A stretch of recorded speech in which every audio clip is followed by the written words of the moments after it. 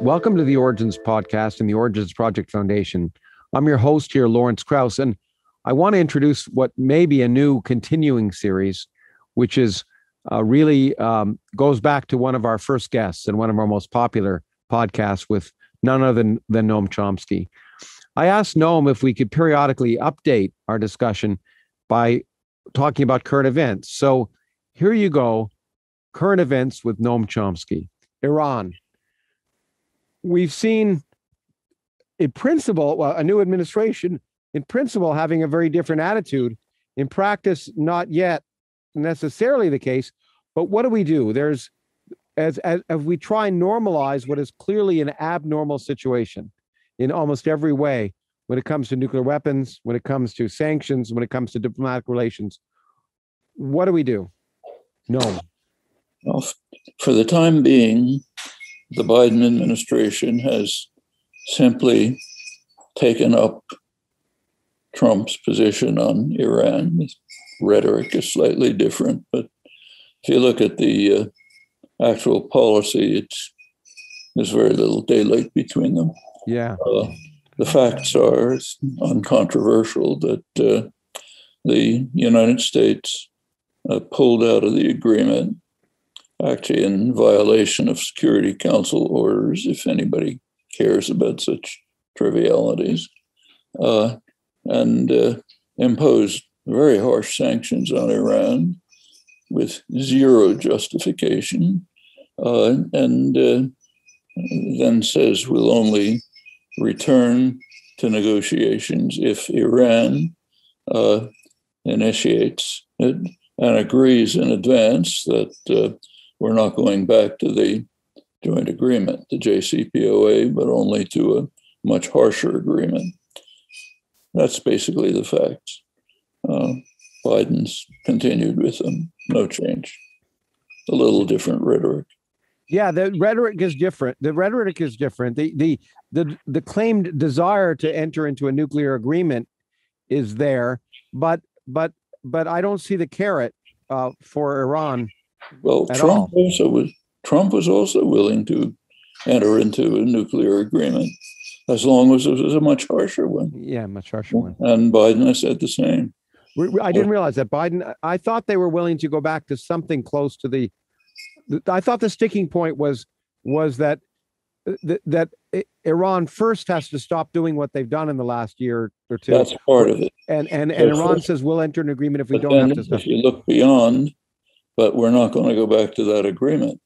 It has to be one which uh, deals with what they call Iran's terrorist activities, uh, its uh, missile programs, and many other things, which had nothing to do with the JCPOA. Mm-hmm. So it's essentially let's go back to the harsher agreement, to Trump's willingness to accept a much harsher agreement. Actually, the discussion of all of this is quite interesting because there is a very, I mean, when Trump says the agreement should be renegotiated, I quite agree. There's a much better agreement. Let's impose, uh, institute a nuclear weapons free zone in the region that it solve the whole problem with intensive inspections. We know they work. They work during the JCPOA. US intelligence agrees. Atomic Energy, everyone agrees. So, what's the problem? Iran strongly in favor of it. Arab states have been in favor of it for 25 years. Uh, the entire global south is strongly in favor of it. Uh, Europe doesn't raise any objections uh, every time it comes up, the United States vetoes it. Obama was the last one. Uh, everybody knows the reason, but nobody's allowed to say it. You're not allowed to inspect Israel's huge nuclear system. In fact, as you know, the United States doesn't even recognize its existence. Yeah. Says we don't, we don't know. Of course they know. As soon as you recognize its existence, US law comes into play, Symington Amendment, others which read literally and would you know lawyers can argue, but they at least indicate strongly that US aid to Israel is illegal under US law, not international law. Under U.S. law Um, because because of Israel's nuclear weapons program. and nobody wants to open that door.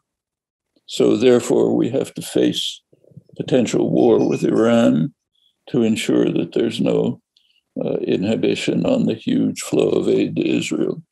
If the American people knew about this, they would not be happy about it, including people who don't like aid for all the wrong reasons across the spectrum.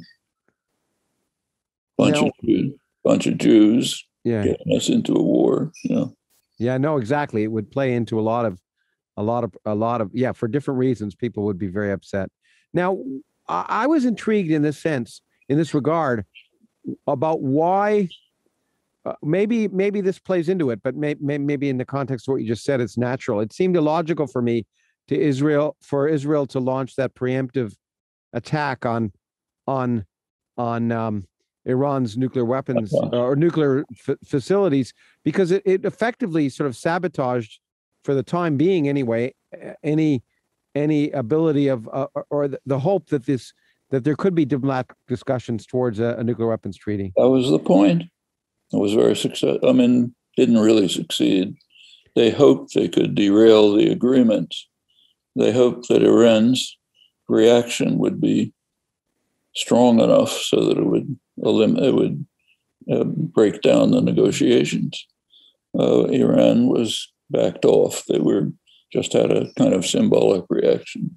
but But what but, but, but, the- but, but frankly- breaking down the negotiations would be are, are you arguing uh, uh, are you ha- suggesting that Israel wants them to break down so that the United States will enter a war with Ira- Ira- Iran? They don't want to go to war, but they don't want negotiations that would eliminate, you know, that would uh, not be harsh enough. Now, the JCPOA would have ended for a long period, long as long as matters, uh, any concern, if there is any, about nuclear Iranian nuclear weapons. But uh, ask yourself a prior question: Why is anyone concerned about Iranian nuclear weapons? I mean, they'd never use a nuclear weapon, even if they had one. The country would be vaporized in five minutes. Okay, One could say that about any country, North Korea as well, of course. no, but not not really. In this case, they have no defense. Mhm. Uh, the uh, if they even armed a nuclear weapon, uh, but on a missile, they probably wiped down. So nobody expects them to use, in fact, including U.S. intelligence. When U.S. intelligence describes to Congress the threat of Iran, what they say is, if they're developing nuclear weapons, which we don't know, it would be part of their deterrent strategy. Who doesn't want a deterrent strategy? Countries that want to rampage freely in the region. There are two of them the United States and Israel. That's the threat of Iran.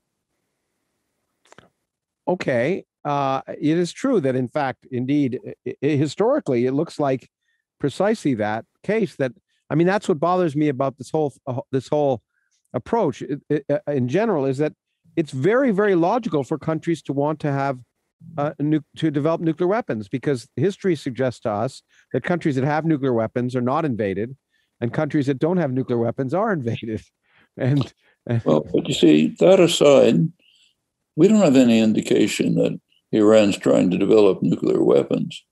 Very likely they're trying to develop nuclear capability, Mhm, means you're close to it. If you have to, you can turn a screw. mhm. I mean, half the countries in the world have that. If you have nuclear energy these days, you're not that far from nuclear nuclear weapons. So probably they want to have the option of developing nuclear weapons if the situation arises, and they would be a deterrent yeah to countries that are attacking them all the time. Um, the U.S. is at war with Iran. The U.S. cyber attack against Iran is what the Pentagon calls, in its official documents, war that justifies a military response. So, yeah, we're openly at war with Iran. We're proud of it. We boast about it. Obama was very proud of it.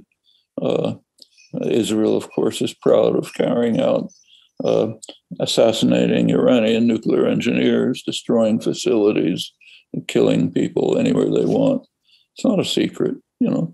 And uh, there's no indication that Iran is going beyond an effort, probably, to develop nuclear capacity capability. But the US and Israel don't want that because they don't want deterrence. They want subordination. And anyone, and this is not just the Middle East, this is US policy, policy everywhere. I mean, why are we, why, why have we been viciously attacking Cuba for 60 years? Do we think Cuba is going to invade us? In fact, we know the reason. It's official.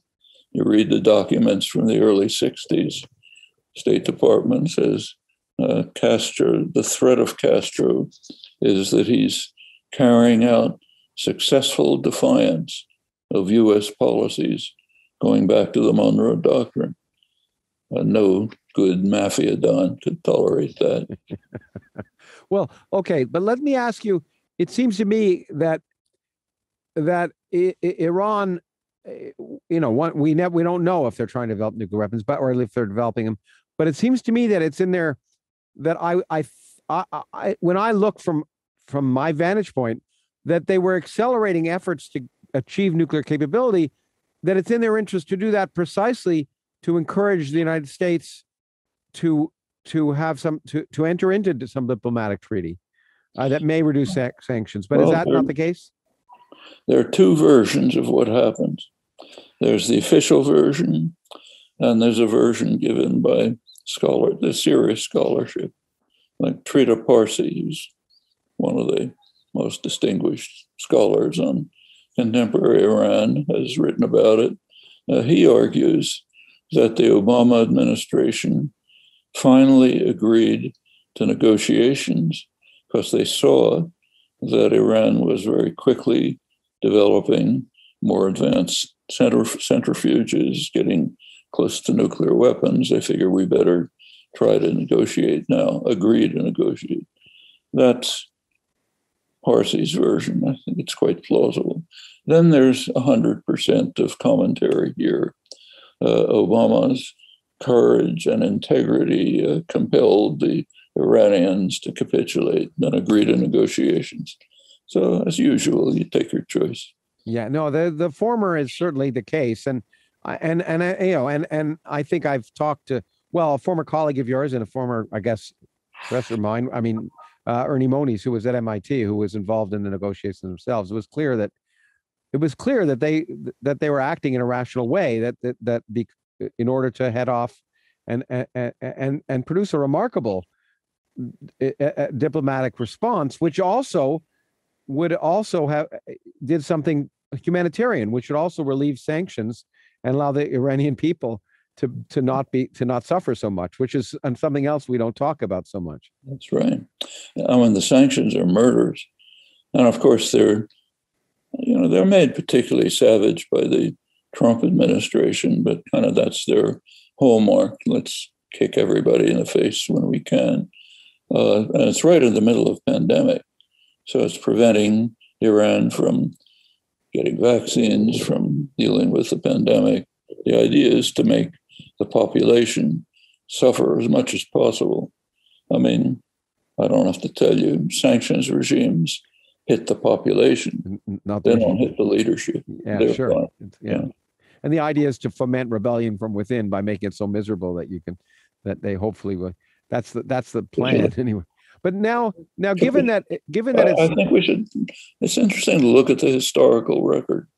So take the case of Nicaragua, very well documented. The first Bush administration very openly and explicitly informed the Nicaraguan people when the election was coming up in, uh, uh, uh, in, in 1990 that either you vote for our candidate or we'll make life miserable for you. We'll continue the terrorist war, we'll continue sanctions, you won't be able to survive. Okay, they voted the way the United States wanted. Take a look at the press afterwards. The United Times, New York Times, my favorite. Headlines Victory for US fair play. You know, uh, I mean, That's the country we're in. Mhm. You smash somebody in the face, they capitulate. You talk about how wonderful we are. Look at our victory for fair play. Yeah, we're seeing that everywhere and internally as well as people are And I think censored. that's uh, that's the idea in Iran. If uh, if they capitulate, it'll be a demonstration of our nobility and our commitment to fair play and justice and the highest ideals.